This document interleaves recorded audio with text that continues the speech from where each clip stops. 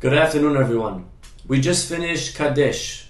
The second step is Urhatz. Urhatz means to wash. We're washing our hands. The reason we're washing our hands is not because we're going to eat matzah now. We're not. Matzah is much later, and there's going to be a different washing for the matzah. The reason we're washing our hands now is because there's a halacha that says anytime I dip food into one of seven liquids, I need to wash my hands just like I would for bread. So, for example, one of the seven liquids is milk. If I'm ever going to dip something in milk, I would need to wash my hands beforehand. One of the seven is mayim.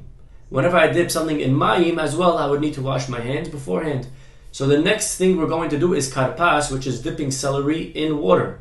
Therefore, I'm dipping in water. It's one of the seven liquids. I would need to wash my hands beforehand, the same way I wash for bread. The only difference is that here we don't say a beracha of al netilat yadayim. So step number two, uh, urhatz, excuse me, is to wash our hands. The same for bread. One, two, three. One, two, three. No beracha. If by mistake I said Baruch Ata Adonai, and then I right away remembered, I can quickly say two words, Lamedeni Hukecha.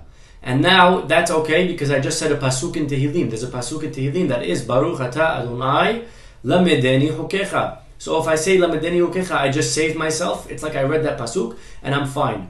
But if I already said Baruch Ata Adonai Elokeinu Melech HaOlam, so um, I would finish off Al Netilat Yadayim, and it's okay because there are some opinions that hold to say a blessing, even though we hold not to. One can rely on those opinions if they've already said the blessing, it's fine.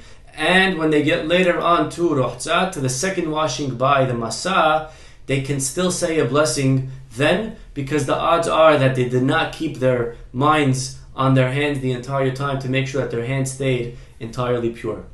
So that is the second step of Urhatz, again, to wash our hands without a beracha, the same way we would wash for bread. Have a great day.